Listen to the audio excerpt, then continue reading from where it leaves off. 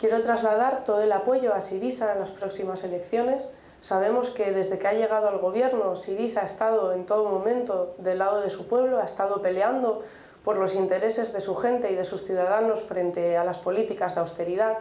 Y sabemos que es una lucha muy difícil, que el enemigo es muy duro de batir, pero esperamos que, las próximas elecciones sean un momento más de apoyo del pueblo griego a su gobierno y, y que continuemos juntos esta lucha contra la austeridad por una política para la gente.